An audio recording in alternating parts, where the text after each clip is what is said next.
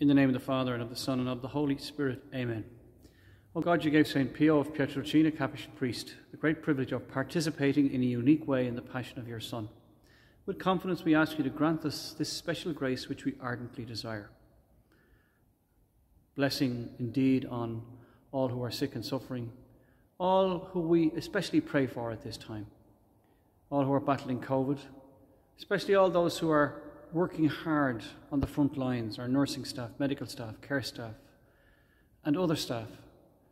We also pray for a successful rollout of the vaccines, that soon, please God, we will be able to safely meet together and be together again, which we ardently desire, and above all, grant us the grace of living in conformity with the death of Jesus to arrive at the glory of the resurrection. Glory be to the Father, and to the Son, and to the Holy Spirit, as it was in the beginning, is now, and ever shall be, world without end. Amen. Glory be to the Father, and to the Son, and to the Holy Spirit, as was in the beginning, is now, and ever shall be, world without end. Amen.